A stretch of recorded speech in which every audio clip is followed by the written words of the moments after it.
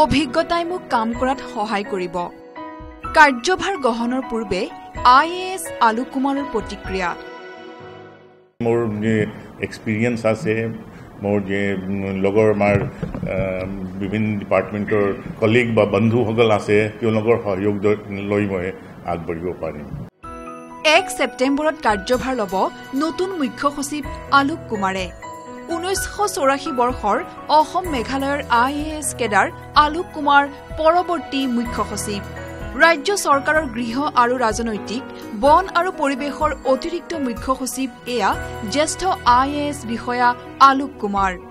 একত্ৰিশ আগষ্টত T Y দাসৰ অৱসৰ। ৰাজ্য চৰকাৰৰ কৰ্মচাৰী বিভাগে প্ৰকাশ কৰা অধিসূচনাৰ পিছতে আলোক কুমাৰৰ মন্তব্য। মুখ্য সচিবৰ গৰিমা অক্ষুণ্ণ ৰাখিব আলোক কুমাৰে। With my mind and body যিমান মই পাৰোঁ সিমান মই ভালকৈ চৰকাৰ চলাবৰ কাৰণে প্ৰশাসন চলাবৰ কাৰণে প্ৰচেষ্টা কৰিম উদ্দেশ্য সেইটোৱে থাকিব কি মুখ্য সচিব পদৰ গৰিমা ৰাখি আৰু গোটেই গোটেই কৰ্মচাৰীবৃন্দক লগত লৈ আমি আগবাঢ়ি থাকোঁ আলোক কুমাৰ ঊনৈছশ বিৰাশী চনৰ পাটনা বিশ্ববিদ্যালয়ৰ ভূতত্বৰ স্নাতকোত্তৰ। ঊনৈছশ ছিয়াশী চনত মাজুলীৰ মহকুমাধিপতি হিচাপে কৰ্মজীৱনৰ পাতনি।